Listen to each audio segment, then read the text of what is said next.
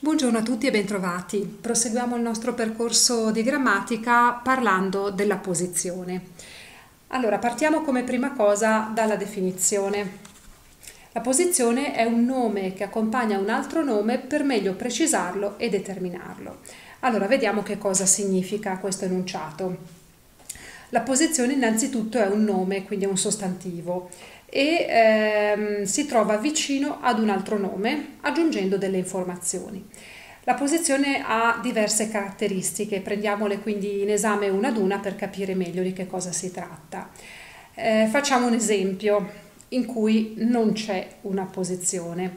Se io dico gli assiri sono bellicosi, assiri è un nome, mentre bellicosi è un attributo, quindi quello che in analisi grammaticale chiamiamo aggettivo e che invece in analisi logica è un attributo. Se però dico gli assiri popolazione bellicosa fondarono la loro economia sulla guerra, ecco che il termine popolazione, che è affiancato al nome gli Assiri, è un altro nome che aggiunge un'informazione e in analisi logica viene chiamato appunto apposizione. Se noi osserviamo bene questo termine notiamo immediatamente una differenza con l'attributo.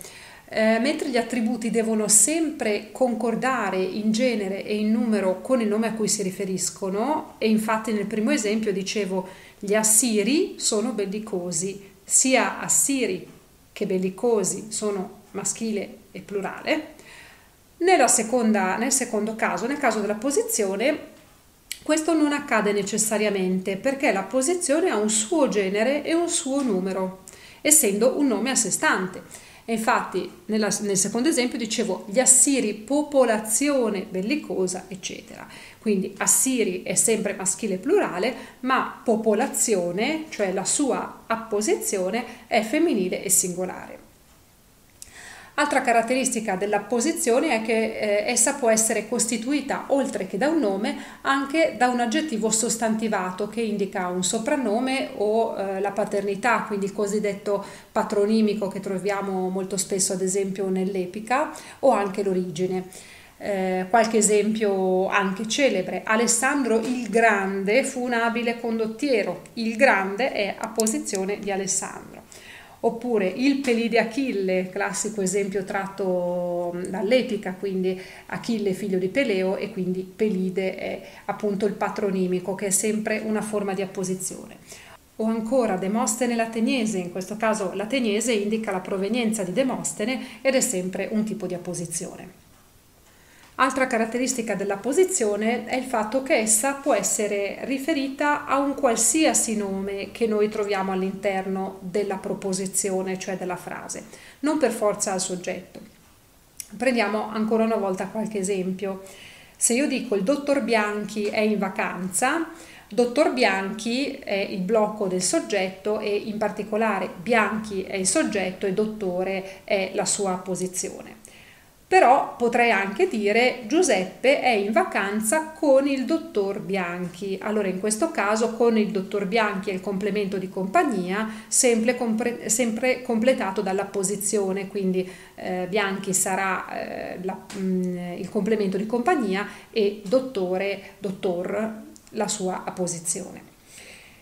La posizione può essere precisata da uno o più attributi che si definiscono attributi della posizione, eh, quindi ad esempio in una frase di questo genere eh, Stefano, il mio caro nipote, è partito, quindi nipote è eh, la posizione del soggetto che è Stefano e mio e caro sono due attributi entrambi riferiti alla posizione.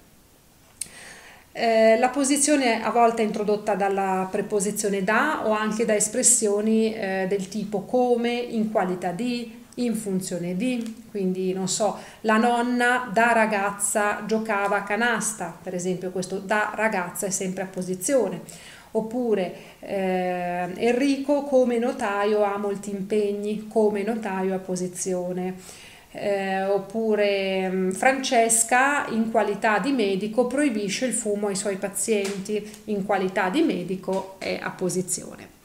La posizione può sia precedere sia seguire il nome a cui si riferisce. In genere precede se è riferita a un nome singolo che indica una professione o anche un titolo nobiliare, la parentela, un nome geografico. Vediamo qualche esempio.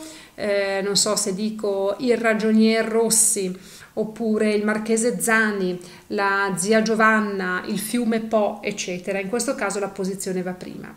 Segue invece il nome a cui si riferisce se è accompagnata da altre determinazioni, quindi in una frase ad esempio di questo tipo.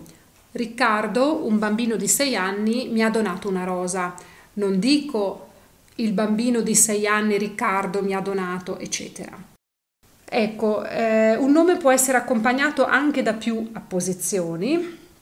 Ad esempio, posso dire ha telefonato il professor Brunetti, un medico esperto e stimato da tutti. In questo caso abbiamo sia professor sia medico, che sono tutte e due apposizioni dello stesso nome.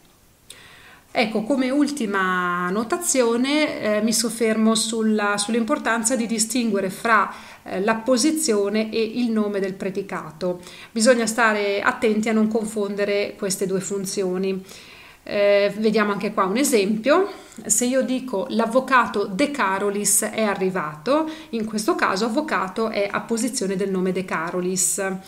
Viceversa, in una frase del tipo De Carolis è avvocato, allora in questo caso avvocato è il nome del predicato, perché appunto abbiamo il verbo essere con funzione di copula che messo insieme al nome del predicato forma il cosiddetto predicato nominale.